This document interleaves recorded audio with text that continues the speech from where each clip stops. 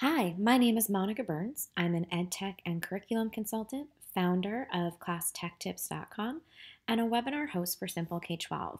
If you're using Chromebooks and looking to bring virtual reality into your classroom, I want to share with you CNN's Virtual Reality Archives.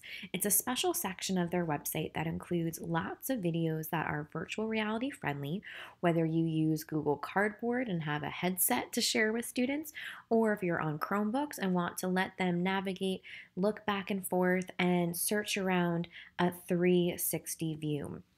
So when you reach a CNN VR's archive page, you'll find lots of content.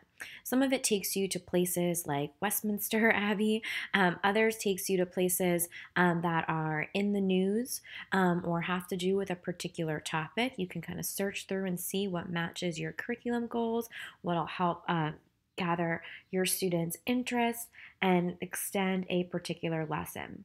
These videos all have audio and narration. So it's kind of like watching a news report while you're able to explore.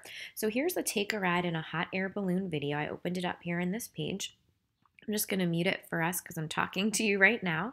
And as the video plays, you'll see this icon up here. It's a little faint, but it's the icon that you'll notice for when you have the ability to move around.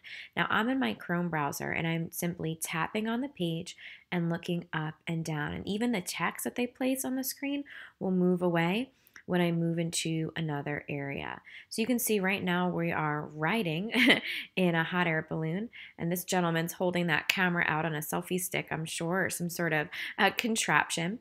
But let's hit play just so you can hear.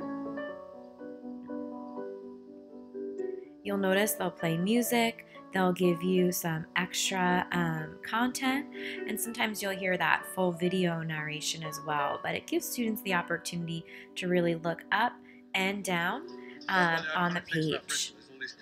What's really cool is that you're getting this like personalized tour by someone of an area. So it's perfect for setting the stage for a read aloud, extending a small group instruction, helping kids make connections and establish relevancy when you are looking at topics that might just be hard for them to wrap their head around. So whether you're working with students who've been to many places around the world or students who haven't really left their community to go exploring, this is a great way to level the playing field and give them lots of content to peek into, to extend their thinking and take your lesson to the next level.